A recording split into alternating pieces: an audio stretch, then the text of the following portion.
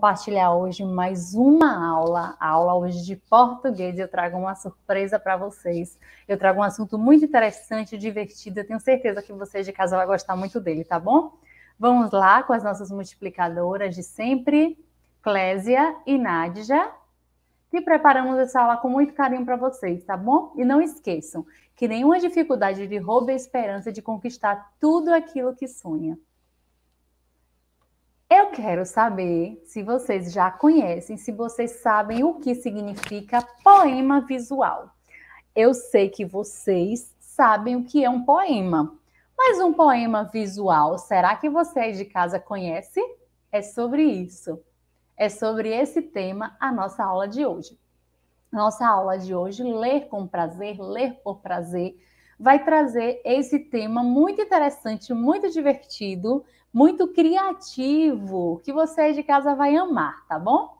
E afinal de contas, você já ouviu falar em poema visual? Poema a gente já conhece, né? É um tipo de texto.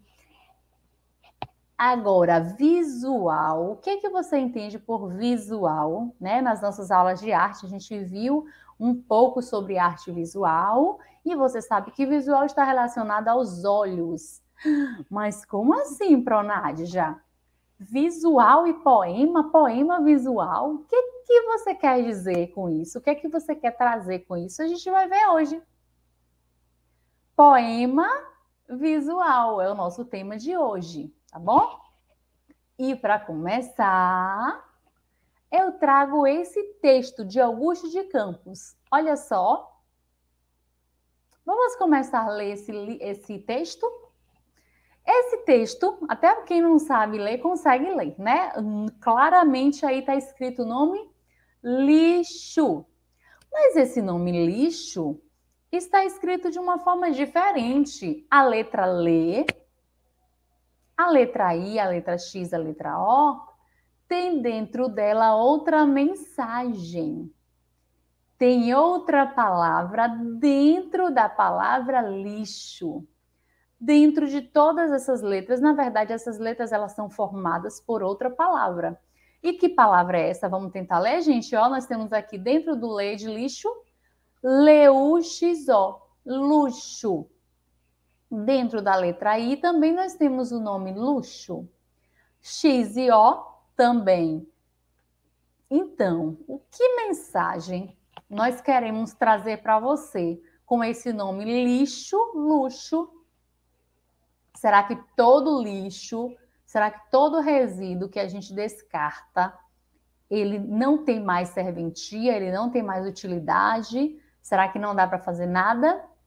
E é sobre isso que eu estou falando para vocês que essa palavra lixo ela foi transformada, né? E que a gente pode transformar o nosso lixo em luxo, em artes. Muita gente utiliza, né? A, a, os objetos que são descartados por pessoas ou por si própria para transformar, para reutilizar, para cuidar também do meio ambiente, porque todo objeto que a gente deixa de, de mandar, né, diretamente para os é, locais onde esses, esses resíduos são né, descartados, toda vez que a gente reutiliza, né, que a gente pega para transformar em arte, em quadro, em vasos, ou seja, é, a gente reutiliza esse material, a gente está transformando o lixo em luxo. E essa poesia, né, essa aula de hoje vem falando sobre isso, da gente poder transformar né, de uma forma divertida e alegre uma mensagem.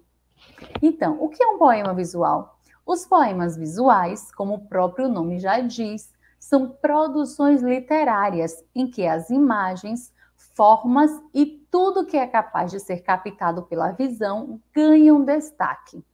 Como se fala em percepções visuais, muitas coisas podem ser incluídas e não se proíbe mistura com é, e não se proíbe a mistura com outras linguagens. Então, não é proibido. Aqui, por exemplo, nós temos palavras dentro de palavras transmitindo uma mensagem. Então, o poema visual é justamente sobre isso.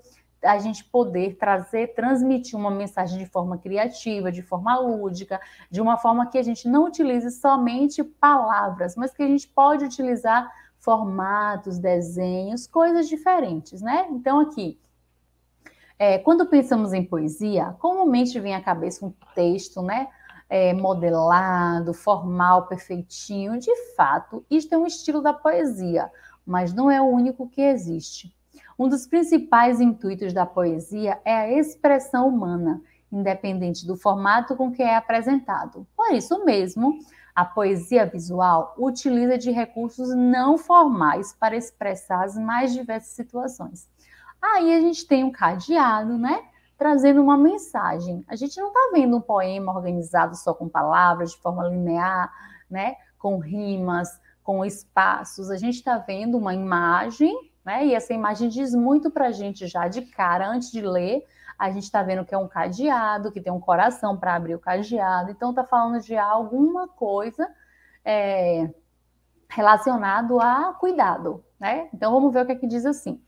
Para a gente decifrar um, um, uma poesia, né, em forma de desenho visual, a gente precisa também ter em mente algumas regras, né? A gente sabe que todos os textos eles começam com letra maiúscula. Então, para que eu possa entender esse poema visual, eu vou começar pela letra maiúscula e diz assim, ó: guardamos e trancamos coisas de valor. Ocorre, porém, que há ocorre, porém, que o que há de mais valioso, né, carece de cuidados e não de cadeado. Qual é a mensagem que a gente pode transmitir através desse, desse poema, né?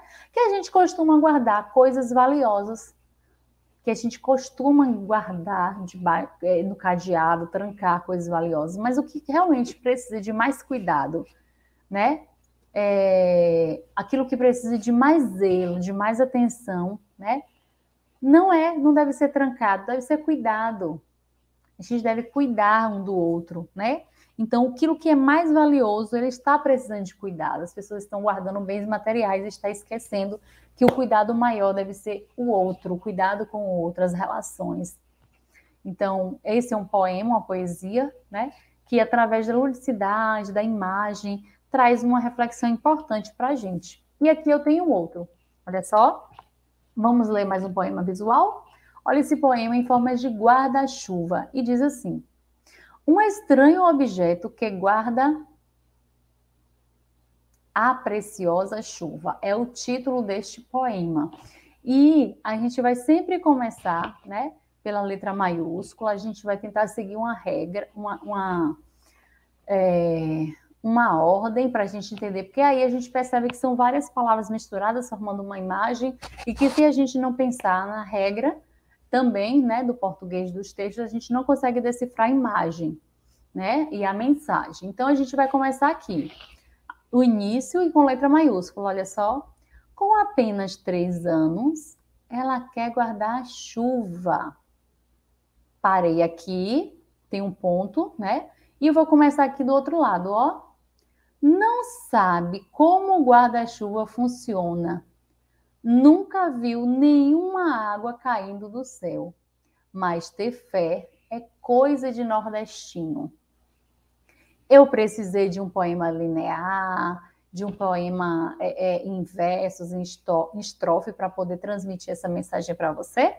Claro que não, né, gente? Então, a, a, intenção justamente de poemas visuais é trazer uma mensagem de forma diferente, de forma brincante, né? Através de uma imagem que vai despertar na gente também, né? Algum sentimento. E aí a gente, né? Percebe que eles utilizaram o guarda-chuva para falar justamente de uma criança nordestina que não viu a chuva ainda, mas que guarda a esperança, porque a Chuva, né, é a grande esperança do nordestino, do homem trabalhador do campo, do homem que precisa da sua lavoura, do homem que precisa sustentar a sua família e precisa de água. Então aí nós temos uma mensagem de uma realidade muito, é, às vezes cruel, né? Mas o poema ele em si ele é ele é brincante, a gente está brincando com as palavras e ao mesmo tempo trazendo uma mensagem relevante, né? Em um texto que não é um texto sério. A gente, de cara, a gente enxerga o desenho. E a gente tem, desperta na gente também essa curiosidade de saber que mensagem é essa, o que é que ela está transmitindo, né? Tem uma outra aqui, olha só. Tem o símbolo do infinito que diz que saudade não é apenas a falta que passou, do que passou. E aí a gente vê qual é a, a, a ordem que a gente segue, começando com letra maiúscula e seguindo a cor. Aqui a gente vê o vermelho predominando e depois o azul que dá seguimento ao texto. Então, saudade não é apenas a falta do que passou, mas um elo infinito, né? É... Dosado em amor e dor. Então, assim, a gente precisa seguir uma ordem para a gente poder decifrar aquela mensagem. Por que infinito? Qual é a mensagem é, é, que está assim dentro dessa mensagem, né? Qual é a, a, a, o que é que ele quer passar, na verdade, com essa imagem? Nós temos a imagem de um símbolo que a gente chama de infinito. E fala também da saudade, que a saudade, quando a gente sente, né? É, aí vem falando de, de, uma saudade que não é do que passou, né? É a falta, né? Um elo daquilo que, que dá dor e do amor. Então, provavelmente, a saudade de algo que já se foi, de alguém que já partiu, né? Então, por isso o símbolo do infinito. Então, assim, é uma poesia interessante porque nos leva a refletir, além do, do desenho, né? Não é qualquer desenho aleatório, é um desenho que tem a ver com aquela transmissão da mensagem. Outra para a gente ver que diz que, ó, da boca fechada, é o nome né, do, do, do título desse texto que diz: Se da tua boca não sairá beleza, se não dirá algo que agrade ou deixe as pessoas mais felizes, mantenha-a fechada, proteja a si mesmo. Interessante, né? E tem o desenho de uma boca, olha só, o desenho que segue a mensagem principal. Outro interessante que tem um cálice. Beba o poema gole a gole, deixando que as lágrimas escorram. Parede, paredes internas do corpo. Então a gente vê o desenho de um cálice, de um copo, né, trazendo esse poema que fala sobre, né, uh, que a gente transborda no poema, que a gente bebe o poema. Então, beba o poema gole a gole, deixando que as lágrimas escorram, paredes internas do corpo. É como se fosse uma dor, um lamento, uma dor é, em forma de poesia, mas que a poesia gera um choro e que esse choro, né, faz, é, é, geram as lágrimas, que as lágrimas escorrem no nosso corpo. É uma poesia é, bem que instiga, né, pela imagem, pelo que ele diz e que nos leva a refletir sobre o que é que ele estava passando, o que é que quem fez isso, autor ou autor, o que é que essa pessoa estava passando, o que é que pensou no momento de construção desse poema, porque ele vem, né, com palavras-chave, com imagem que a gente, para que a gente entenda esse poema, a gente precisa pensar sobre ele, sobre o que ele está dizendo. Então, os poemas visuais, eles são interessantes por isso, porque eles fazem com que a gente também passe a refletir sobre a mensagem e a imagem, né? Agora a gente vai assistir um vídeo, né? É, ampliar o seu conhecimento sobre poesia visual. Vamos ver, é um vídeo bem interessante.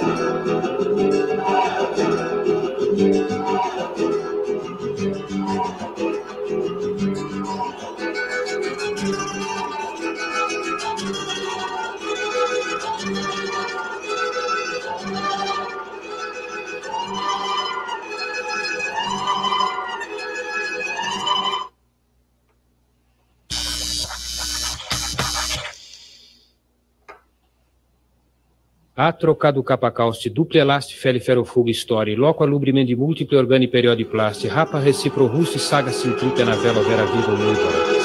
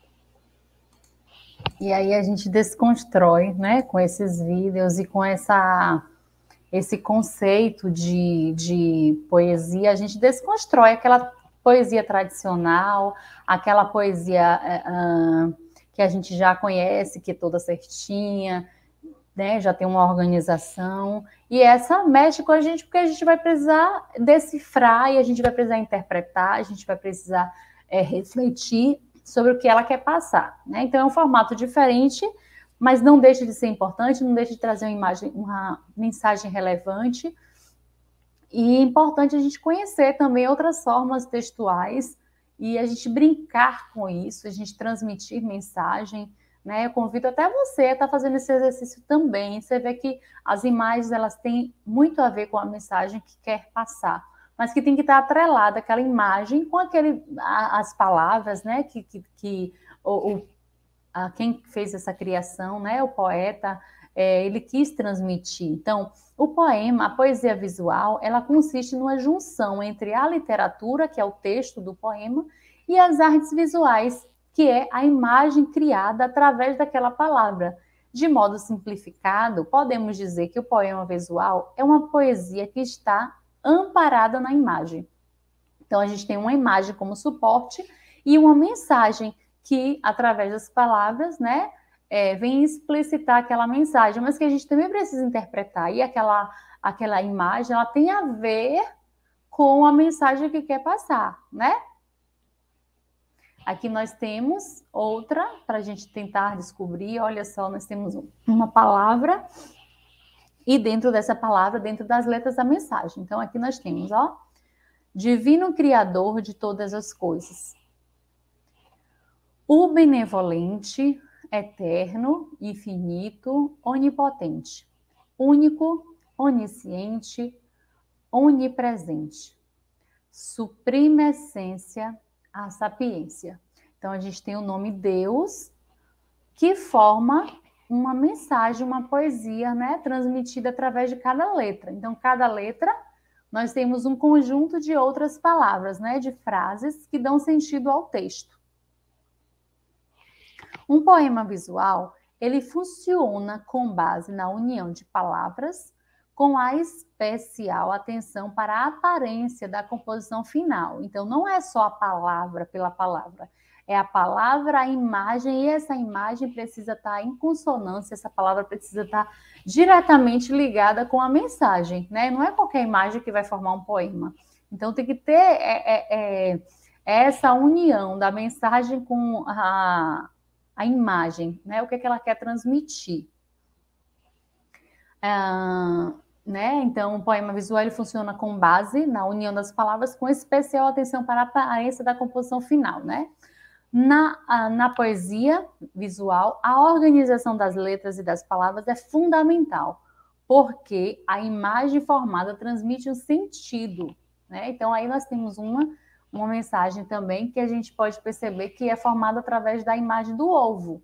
E aí nós temos aí a, mensagem, né? O bom e velho ovo frito. E diz assim: se você prefere bancar o chique, salivar e dispensar o bom olhudo, justo esse que vai bem com tudo, comigo não.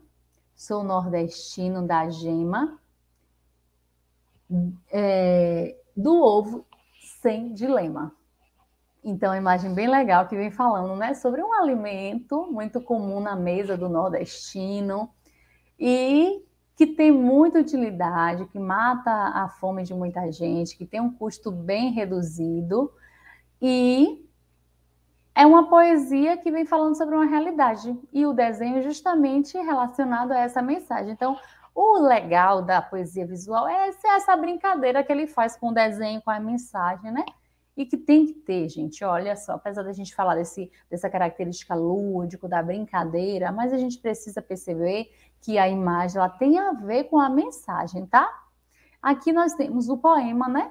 É, o concreto caracol foi criado em 1960 e animado digitalmente pelo próprio artista depois de três décadas, em 1995. A gente vai assistir um pouquinho, né? Esse poema que é feito pelo Augusto de Campos é, bem antigo, né, de 95, mas que vem trazendo essa ideia de caracol, essa ideia de, de do poema formado através do caracol, que é uma das características do poema visual.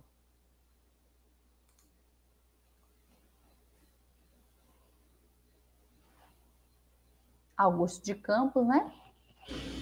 Colocar a máscara, colocar a máscara, colocar a máscara, colocar a máscara, colocar a máscara, caracolo caramasca.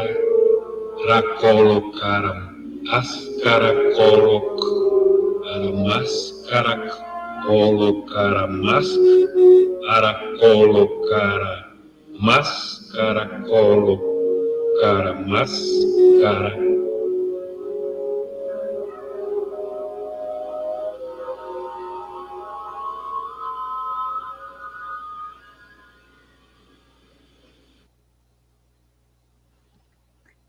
brincadeira, né, animada para formar justamente o desenho, que a maioria dos poemas visuais a gente vê essa organização, né, em forma de caracol, em forma de ondas, e aí o texto ele vai sendo construído.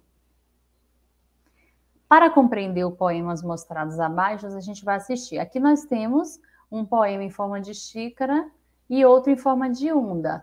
É mais um vídeo para a gente ver como essa organização vai se construindo, tá bom, gente? Olá, pessoal, tudo bem com vocês? Hoje vamos conversar sobre poemas visuais. Você conhece algum poema visual? Vamos iniciar com esse poema. qual é a primeira imagem que lhe vem à mente quando você olha para esse poema? E qual você acha que é o tema desse poema? Vamos ler o texto? O título é Xícara e o autor Fábio Sexudi. Na tarde fria de julho, voa o cheiro, o barulho do café descendo quente pelo bule reluzente. E me pergunto já em prosa: existe coisa mais gostosa? Acabamos de ler um poema visual ou um poema concreto, como também é conhecido. E como vimos, ele é formado tanto pelas palavras como pela maneira como essas palavras estão organizadas visualmente. Não é verdade? Se uma imagem está sendo criada para ajudar a expressar o sentido de um poema, como foi o caso aqui, temos um poema visual ou poema concreto. Algumas palavras ajudam a desenhar a fumaça quente que sai do café. Outras palavras ajudam a formar o contorno da xícara. E a interrogação forma a asa ou a alça da xícara. Assim como podemos perceber, o poema visual ou poema concreto é composto pela linguagem verbal e esta é complementada pela linguagem não verbal.